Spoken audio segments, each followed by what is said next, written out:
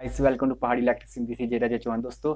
आज हम junior technician seven eighty zero paper के बारे में डिस्कस करेंगे, क्योंकि अभी आपका हाल ही में पेपर होगा ट्वेंटी फोर जनवरी को।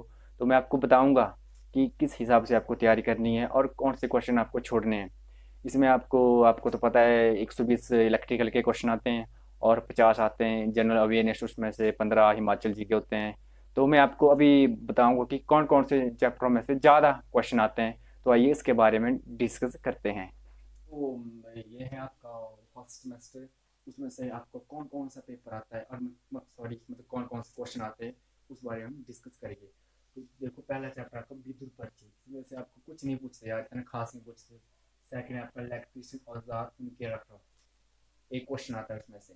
एक या दो पूछ सकते हैं।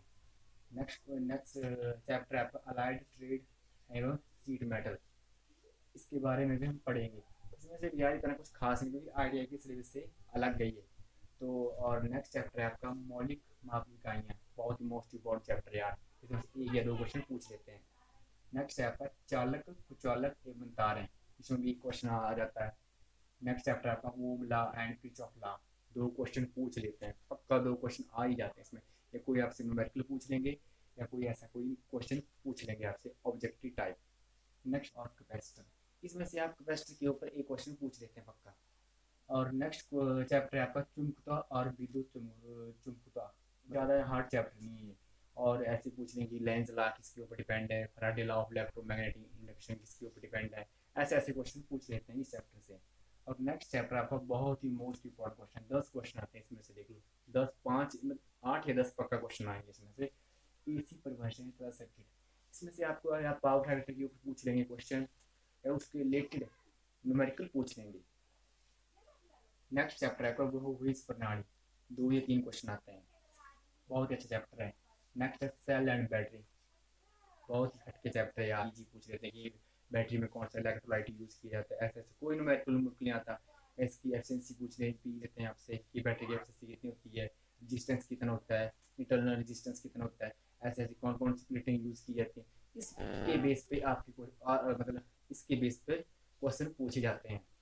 Next chapter sorry next chapter है आपका विद्युत वायरिंग एवं अर्थिंग इलेक्ट्रिशियन का है अर्थिंग के बारे में तो पक्का पूछेंगे ये चैप्टर ये दो क्वेश्चन तो मैंने ऐसे लिखा, दो क्वेश्चन इसमें से आप पाँच दस क्वेश्चन पूछ लेते हैं। अगर यहाँ से नहीं आया तो एक बार मैंने 2016 का पेपर देखा था तो उसमें विद्युत वायरिंग एवं अर्थिंग का देखा मैंने उसमें से मतलब पच्चीस क्वेश्चन पूछे थे। अर्थिंग के ऊपर ही पच्चीस क्वेश्चन पूछे थे कि इसमें कौन सी प्लेट अर्थिंग कैसी होती है मतलब दो प्रकार की अर्थिंग अर्थिंग होती है उसके बारे में हम आगे देखेंगे। पर ऐसे ऐसे क्वेश्चन पूछे जाते हैं।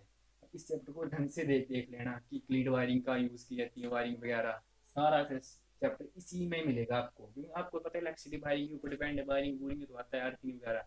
तो ये चैप्टर को देख लेना, बहुत ही मोस्ट इम्पोर्टेंट चैप्टर है ये।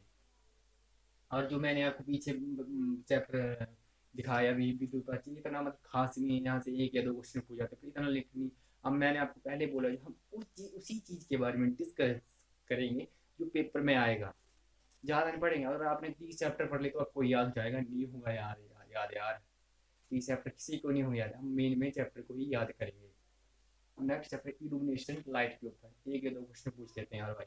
पक्का पूछ लेते हैं एक या दो क्वेश्चन और नेक्स्ट नेक्स्ट है विद्युत महाभियंत्र आपको तो पता है यार मीटर रीडिंग वगैरह एनर्जी मीटर की रीडिंग कितनी होती है उसकी रीडिंग उसमें कौन सी सुई कैसे चलती है, कौन सा करंट पैदा होता है, ऐसा वैसा क्वेश्चन पूछती है मतलब वोल्टेज करंट अल्टरनेटिव करंट ऐसा वैसा कुछ पूछ लेते हैं यार। हेलो दोस्तों नेक्स्ट चैप्टर है आपका विद्युत माप अंतर ये भी बहुत इंपॉर्टेंट क्वेश्चन है यार, इसमें से पूछ लेते हैं कि गलमेरोमीटर कैसे कन्वर्ट करता है मीटर को मीटर को कैसे, क्या पैरल में लगता है सीरीज़ में ऐसे क्वेश्चन पूछते हैं इसके ऊपर। ज़्यादा मतलब इतना हार्ड चैप्टर नहीं है यार। इसको ज़्यादा देखना आपने वो एम सी क्यू वगैरह पढ़ लेना, इतना हार्ड मतलब इतने कुछ ज़्यादा क्वेश्चन पूछ जाते हैं इसमें एक या दो क्वेश्चन पूछ जाते हैं। और नेक्स्ट चैप्टर है आपका साधारण विद्युत उपकरण। इसमें से यार पूछ लेते हैं एक आधा क्वेश्चन है कि हीटर में कौन सा मतलब जो आपके मतलब डोमेस्टिक में यूज़ किए जाते हैं ना, उसके लिए से चैप्टर है। आधा क्वेश्चन आता है, मैं ज़्यादा नहीं आता है। तो मेन चैप्टर आपको मैंने, मैं बताता हूँ फोकस करना है।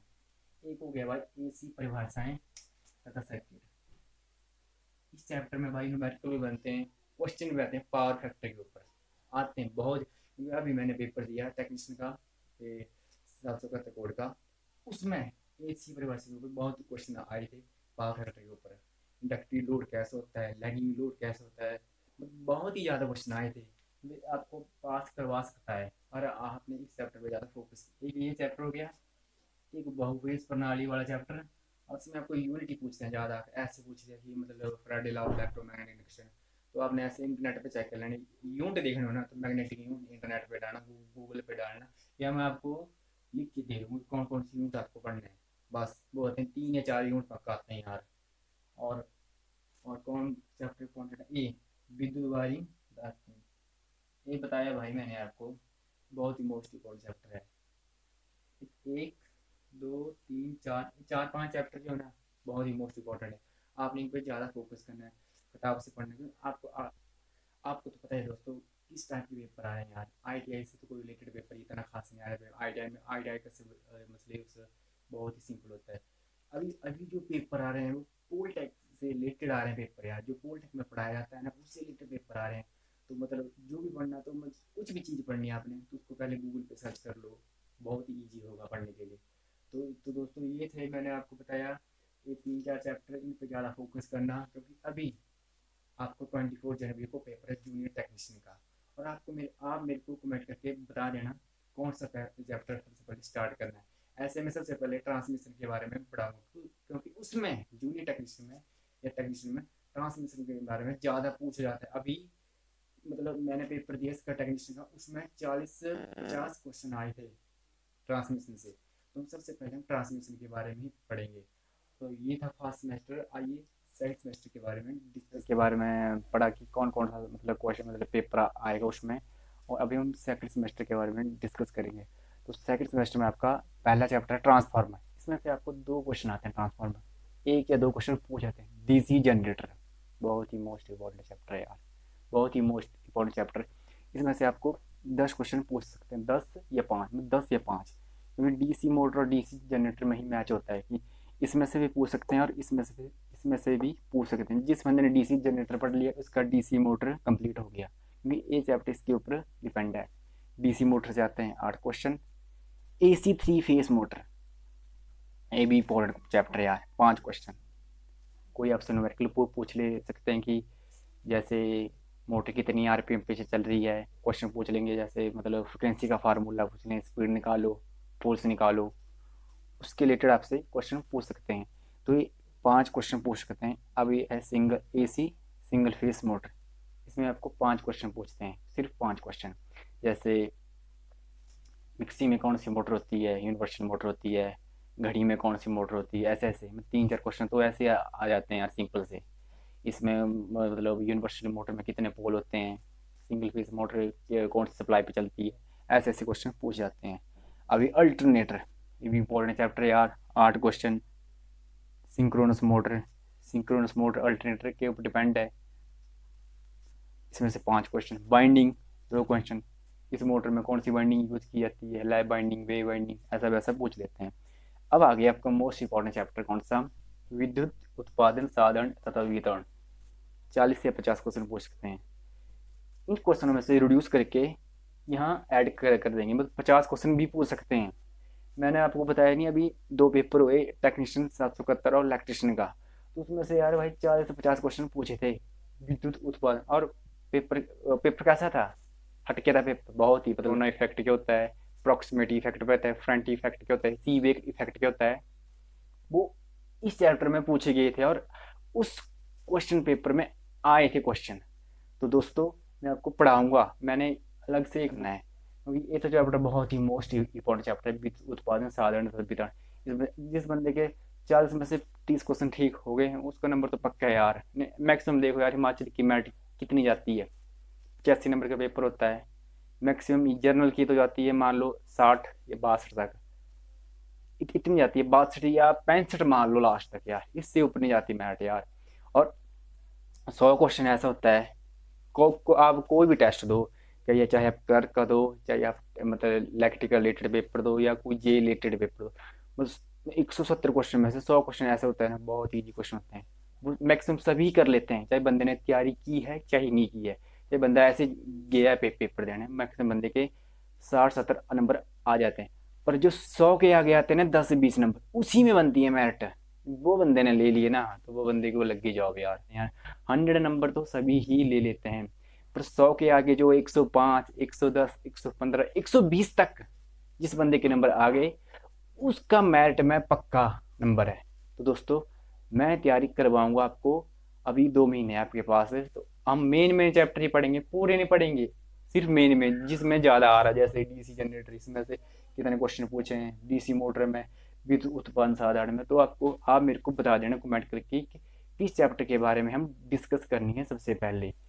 और अभी आ गया जनरल अवेयरनेस। तो इसमें से जैसे हिमाचल जी के पंद्रह नंबर का, हिमाचल जी के यार पंद्रह नंबर का जोग्राफी नौ नंबर की जोग्राफी सॉरी यार, हिस्ट्री आती है नौ नंबर की, हिस्ट्री हिस्ट्री आती है नौ नंबर की,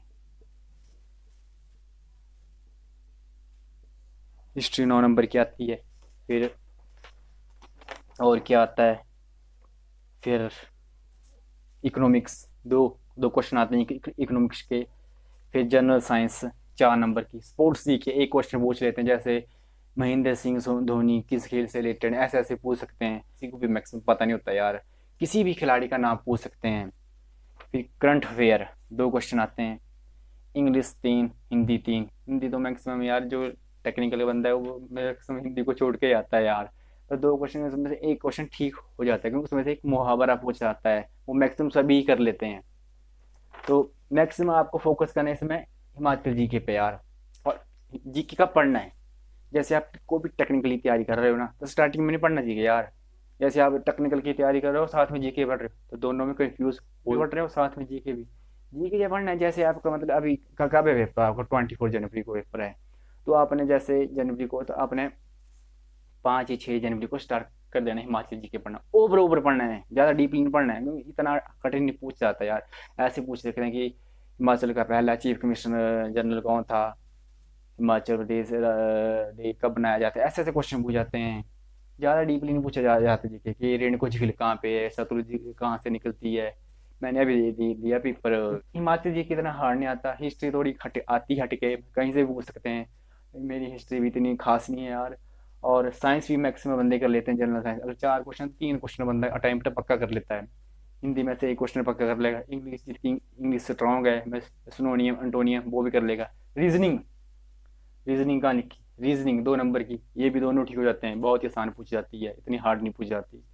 तो जी के में से पचास है मतलब तीस, पैंतीस बंदे, बंदा ले ही लेता है। आपको ज़्यादा फोकस करना है इलेक्ट्रिकल के ऊपर। इलेक्ट्रिकल बहुत ही ज़रूरी है भाई। जिसके इलेक्ट्रिकल से जैसे 120 क्वेश्चन आते हैं उसमें से आपके अगर क्वेश्चन 105 106 ठीक हो गए ना तो आपका नाम मेरिट पक्का है। पक्का नाम है। बस सौ से ऊपर लेना है इलेक्ट्रिकल इलेक्ट्रिकल से नंबर ऐसे नहीं एक सौ बीस का पेपर और उस, उसमें से आपने लिया अस्सी नब्बे नंबर तो जी के इतना हार्ड है। क्योंकि जी के कहीं से भी पूछ सकते हैं यार। जी की क्या है? जी की क्या नॉलेज है? ए भी क्या जी के है? जी के है ना? तो जी के कहीं से भी आ जाता है यार। जी के ज़्यादा फोकस नहीं करना, जो बंदा टेक्निकल का है। टेक्निकल ज़्यादा टेक्निकल के भी मतलब इलेक्ट्रिकल के ऊपर ही फोकस करना है। एक सौ बीस क्वेश्चन आएँगे, उसमें से आप, अगर आपके एक सौ पाँच या एक सौ दस क्वेश्चन मतलब ठीक हो गए ना तो आपका मेरिट में नाम पक्का है। क्योंकि जी के तो आपको मैंने आप बताया, क्योंकि जी के यार कहीं से भी आ सकता है। और दोस्तों, ये था टॉपिक मेरा। तो मेरे को बता देना आपको मेरा टॉपिक कैसा लगा। और टॉपिक क्या था, मैंने तो आपको सिलेबस बताया जूनियर टेक्नीशियन सात सौ अस्सी का कि क्या क्या पढ़ना है, क्या क्या छोड़ना है। और अभी हम कल से स्टार्ट करेंगे तो आप मेरे को कमेंट करके बताना कि कौन सा टॉपिक मतलब कौन सा टॉपिक या नीचे बता देना मेरे को, और हम उसी के बारे में डिस्कस करेंगे। तो प्लीज़ आज मेरे को कमेंट करके बता देना, और मेरे चैनल को शेयर सब्सक्राइब लाइक पक्का कर देना यार। कुछ नहीं हो रहा है मेरे चैनल कर दो प्रमोट यार दोस्तों, करो कुछ। और शेयर सब्सक्राइब लाइक पक्का करना। Thank you and have day